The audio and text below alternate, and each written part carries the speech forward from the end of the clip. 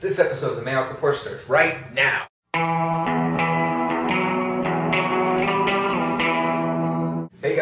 The MAOC Report. I'm Ben Spade and I'll be hosting the show for today. This is my first episode, so I have to explain to you guys what MAOC means. M-A-O-C. MAOC stands for magic and other crap. So I'm going to be talking about magic mostly, almost in every episode, and other crap along the way. Stuff that interests me, you know, like Legos, Minecraft, and all that cool stuff. Movies and explosions and everything. So what's usually going to happen is I'm going to choose three things. Sometimes all magic, sometimes one, sometimes not, sometimes one the other. I'll just juggle it as I go along. So the first thing I'm going to be reviewing is a deck of cards. The newest deck from Ellusionist, this is the Infinity deck. This is probably my favorite deck that Ellusionist has ever made, possibly my favorite deck that I've ever owned. First off, it's got an awesome tuck box here. We can see these uh, spirals, almost looks like clockwork, the inside of clock. Up on top, we see repeating, it says Infinity, two or three times, same on the bottom underneath. Also in this inner circle, you guys probably can't see this, but it says infinity.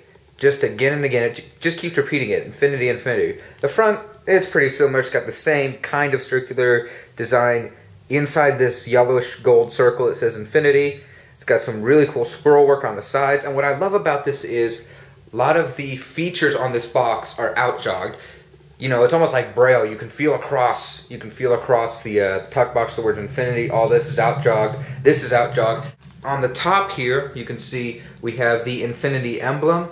It's just a figure eight turned on its side, and also we have right here on the top, it says "Time discovers truth." Nice silver lettering. It says United States Playing Card Company on the side here. Infinity Series on the side here, and on the bottom it has the Ellusionist logo with all the copyright crap. A lot of cool cards here. White borders, which is excellent. White borders will be great for fans, uh, reverse fans, Elmsley count, and all that, all that good stuff. They spread excellently. They fan nice.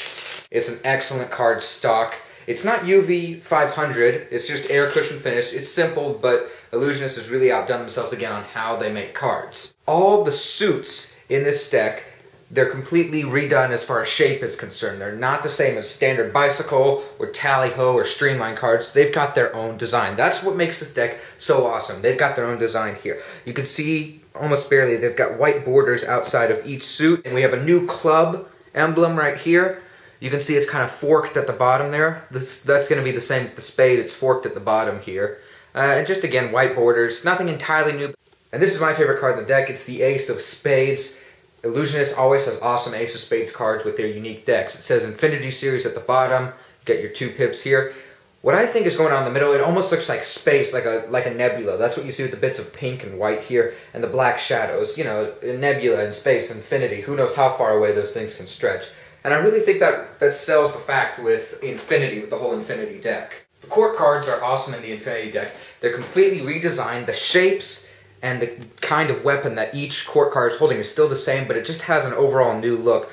You've got the yellows and the greens in here, which I think is just a great contrast. Real similar to the colors on the backs of the Infinity with all this goldish yellow, almost green look to it.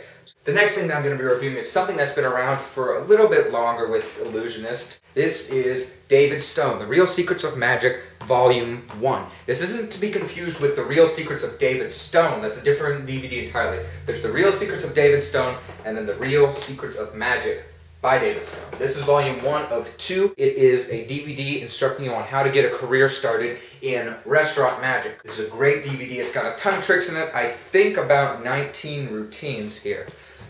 The whole list of the routines right here.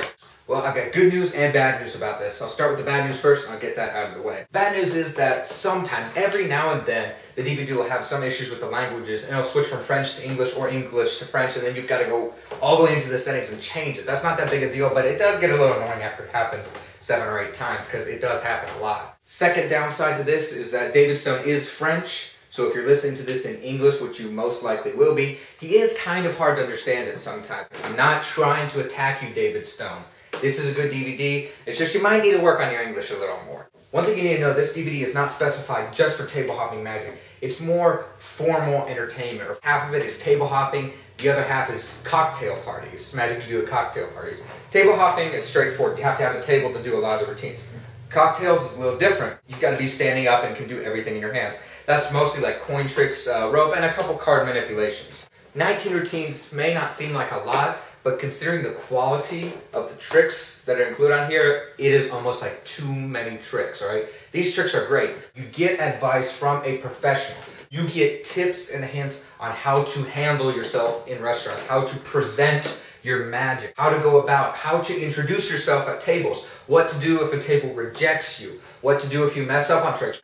One final note on the DVD. This is not something for beginners at all. David Stone uses a lot of routines and tricks that involve advanced sleights with cards and coins and rope and such like that.